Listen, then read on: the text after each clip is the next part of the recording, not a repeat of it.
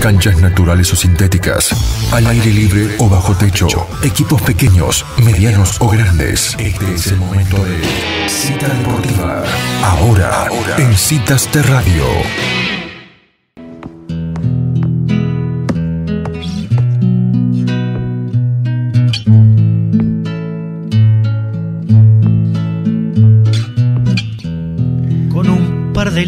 Buenas tardes a todos, acá estamos en la cita deportiva de toda la semana, mi nombre es Martín Dameno y tenemos acá con las chicas, con Eli, Pau y Cata, el agrado de hablar con Luciano Sibeli, futbolista profesional de hoy del club Banfield. Hola Luciano, ¿cómo estás? Hola Martín, buenas tardes ahí para todos. Buenas tardes, Lu. Em, bueno, te, saco un poquito de, tu día. estás, en Capital, se nota mucho el, aprovechando la actualidad, el paro, ¿fuiste a entrenar o algo? Sí, sí, fuimos a entrenar a la mañana. La verdad que parece eh, como si fuera fin de semana O, un feriado. Eh, por suerte, por donde voy yo no, han cortado claro, no corte. así que eh, la verdad fue un placer ir hoy a entrenar, porque tardé mucho menos lo que tardo siempre. ¿Te, queda muy lejos, perdón, eh, te queda muy lejos donde estás, eh, no sé, te lleva media hora, 40 minutos todos los días irte al entrenamiento? Y 50 no llega, y a veces a la vuelta una horita también. también. ¿Están haciendo doble turno o solamente de mañana? No, no, siempre a la mañana. Eh, doble turno pretemporada, pero después la verdad que hecho nunca doble turno, se entrena siempre a las 9 de la mañana. Eso después, después durante el año es mantener más que otra cosa, obviamente. Bueno, eh, eh, Luciano, eh, sacarte un poquito de la actualidad y hablar un poquito de, de, la historia, de tu historia. contanos algo. Bueno, acá debutaste o jugaste siempre en, en Estudiantes, en Pegua. Sí, sí, de los 5 o 6 años hasta los 18 siempre siempre estudiantes y bueno después eh, terminé la secundaria y me vine a estudiar y a, probar suerte en Banfield. Eh, eso fue en el 2004 eh, perdón 2005 que, que fue en inferiores. En el 2006 tuve la suerte de debutar en primera y bueno, jugué hasta enero del 2009. Sí, eh, que me fui a Inglaterra. Esos muy buenos años que tuviste en, en Banfield. ¿Quién, ¿Quién te hizo debutar acá en, en Estudiantes, en Peguajó? ¿Qué técnico, obviamente? ¿En primera? Sí. En primera, Chiqui Signoli. El Chiqui Signoli. Eh, y, en cancha de defensores contra San Martín, 2 a 2. ¿De, de titular? No, no, de suplente. 15 años tenía. Y, y, 15 años. ¿Y, y sentiste el, rigor del fútbol peruajense en algún momento? Siendo tan, tan joven para, para jugar. Sí, eh, yo creo que es una, es una muy buena experiencia. Eh, cuando sos adolescente, empezar a jugar en cuarta y en primera con, con gente más grande, porque te da un roce que, que no te da las inferiores y y bueno, yo desde los 15 a los 18 que estuve jugando en primera en Pehuajó, siempre con, gente mucho más grande que, yo, después cuando me fui a probar a Banfield con, claro, de mi edad, eh, tenía cierta ventaja en cuanto a, experiencia, que por ahí en primera... Eh, jugadores más grandes te patoteen o te caen a patadas. Sí, sí, sí. Entonces, eh, es, importante pasar un, par de años en, la primera de, nuestra liga. A mí, por lo menos, me sirvió. Eh, eh, volviendo, bueno, como contabas recién, debutaste en Banfield en el 2006, jugaste el 2009. Para Banfield estamos en, en, fechas importantes, si, no, si mal recuerdo, en marzo, cerca del 8, festejan los hinchas de Banfield la, victoria en la cancha de Lanús, el clásico por 5 a 0. ¿Lo pudiste jugar ese clásico? Sí, sí, todos los años eh, el hincha de Banfield se acuerda del 8 de marzo del 2008. Y, bueno, este año como yo estaba de vuelta en el club, eh, me hicieron varias notas recordando ese día, que bueno, ya pasaron siete años y soy el único actualmente del plantel que, que jugó, sí, sí. Eh. Así que, nada, un, un día, la verdad que importante. Que en la un día que salieron todas. Porque, sí, salieron todas. Además, ellos venían de salir campeones, venían dulces y, y bueno, fue, fue la goleada más abultada en la historia de los clásicos. Sí. haber sido parte, haber compartido, eh, sin duda fue el partido más importante que me tocó ganar hasta ahora. Yo, yo, yo te agrego ahora también que en abril eh, se cumple, si no me equivoco, también siete años de un gol que hiciste en la cancha de Boca. Yo, hincha de Boca, lo Ese recuerdo no, muy bien, no lo tenía lamentablemente. de, de qué fecha era. Eh, si no me equivoco, fue en abril 2008, cancha de Boca, 1 a 1 salieron. Sí, sí, sí. Sí, no, me acuerdo el resultado. Después Palermo empató. Sí, Palermo empató. En el segundo tiempo. Y sí, bueno, ese también fue un gol muy lindo. Después de, de- de Lanús, fue el gol más lindo que me tocó hacer. Tien- Eh, tiene que ver mucho, obviamente, por, por que sos hincha hincha de, de- de River, obviamente. Sí, sí, siempre. Toda la familia hincha de River, así que fue, fue un momento muy especial también. Y, y bueno, esperemos que se pueda repetir pronto. Eh, bueno, sí, en tu caso sí, escúchame, Luciano.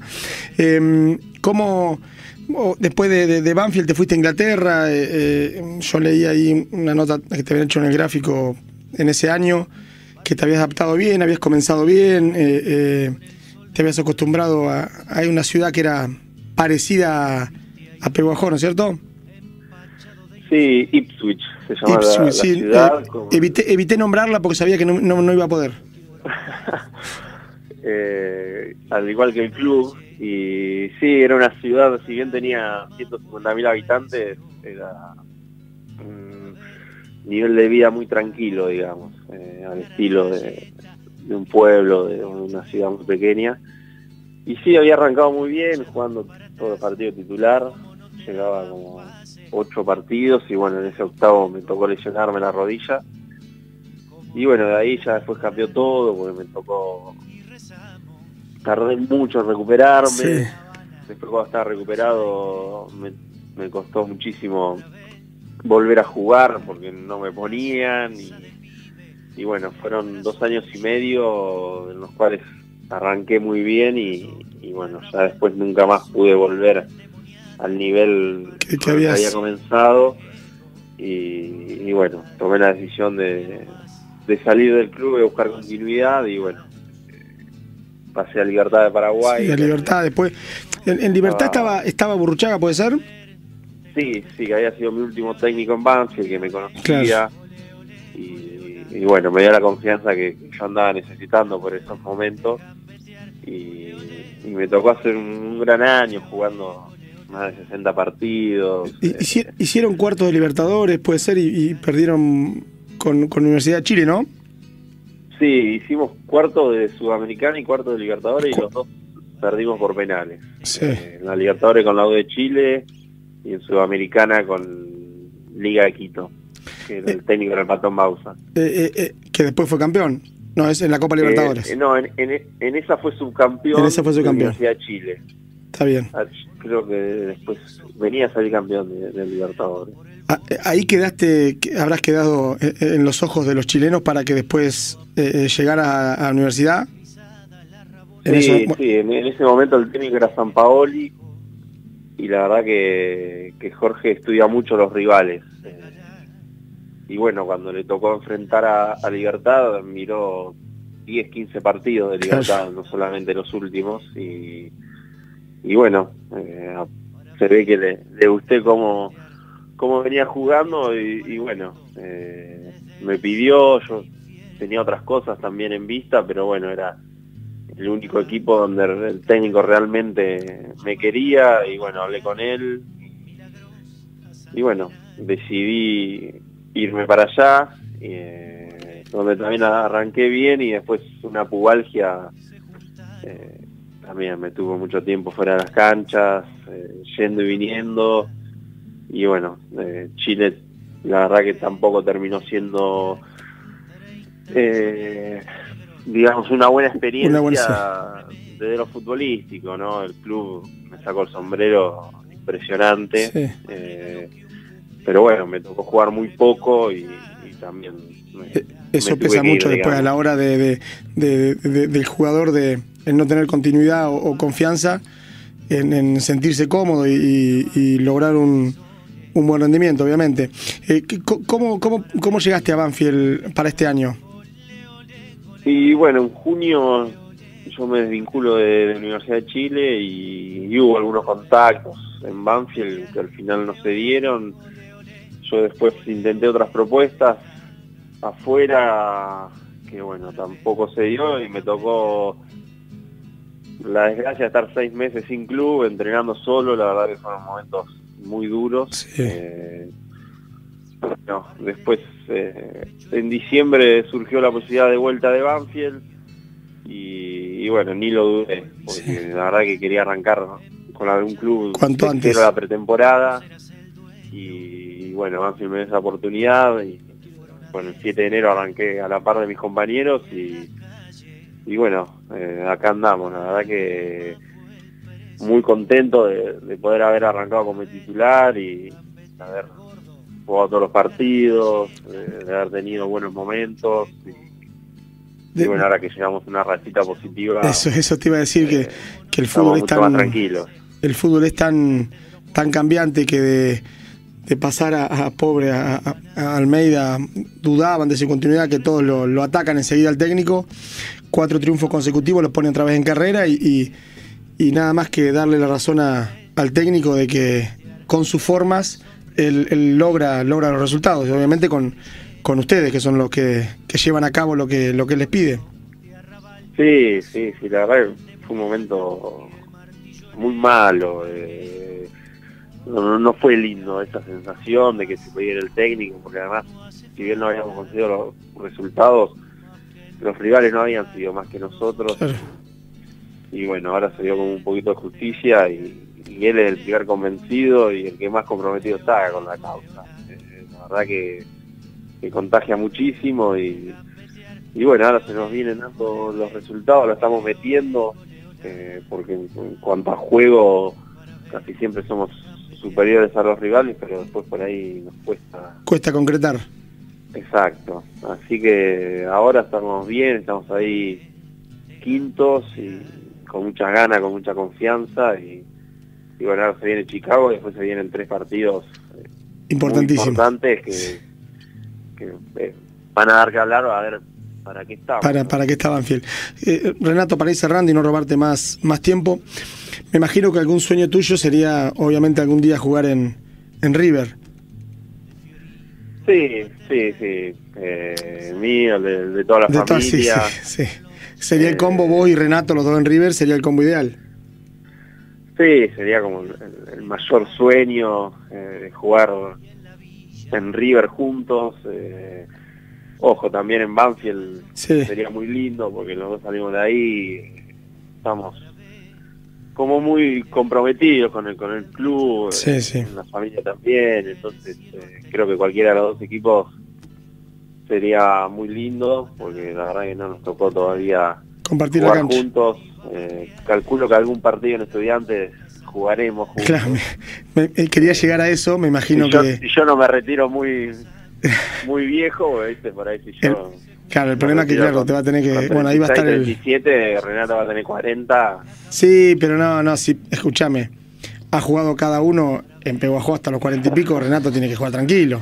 Además, Sí, vamos a ver, vamos a ver. ¿cuá- Pero ¿cuánto? sí, aunque sea un, un par de partidos, tenemos que jugar. Yo me encantaría que hicieran el esfuerzo de aguardarse uno o dos años, ustedes, para jugar obviamente en Peguajó y tiren por ahí medio año en cadete. Si llegamos, cualquiera de los dos sería un logro para el club. Eh, yo como estar trabajando en cadete, un pedido que haremos a futuro, con Renato lo iremos charlando. Lo veo después que muy te diga difícil, vos. No sé cómo va a estar estudiante con el tema del, del pase después, si algún día vienen para acá. Lo, lo veo muy difícil. Sí, sí, sí, sí. yo mi idea es, es poder, eh, una vez que me retire profesionalmente, poder jugar. Tengo la suerte de, de vivir en Peguajó y creo que si no tan, tan iría a jugar eh, uno o dos años eh, estudiantes bien, no, no Sí, ir sí. roto. Eh, y bueno, si Renato todavía está jugando eh, en Peguajó, muchísimo mejor. Eh, pero no no nos vemos con, con otra camiseta que no sea la vinera. ya lo creo, ya lo lamento creo. decirte. Ya lo creo, ya lo creo. Bueno, Luciano, eh, eh, muchísimas gracias por estos minutos que nos, que nos brindaste. Eh, saludarte, eh, felicitarte por el año que estás teniendo y bueno, esperemos que, que la confianza del técnico y la tuya eh, sigan, sigan dándote buenos rendimientos. Bueno, bueno, muchas gracias. Ojalá que sí, que sigamos por este camino, que, que venimos muy bien. Y bueno, déjame mandarle saludos a, a mis sobrinos eh, que están ahí en Peguajó, a, a Linda, a Lorenzo, a, a los hijos de Bruno que también están en estos días en Peguajó, a, a Santi, a Bernie, a Carola, bueno, también a, a Melina y a Máximo que, que me Dale. están escuchando. Se- y- seguro que te están a los- escuchando, a seguro. los amigos de, de Peguajó también. Así Dale, dale, Luciano, muchísimas gracias y un abrazo grande. Dale, un abrazo. Hablamos cualquier momento. Hasta luego. Hasta luego. Bueno, acá cerramos la cita deportiva de esta semana. Eh, un saludo para todos.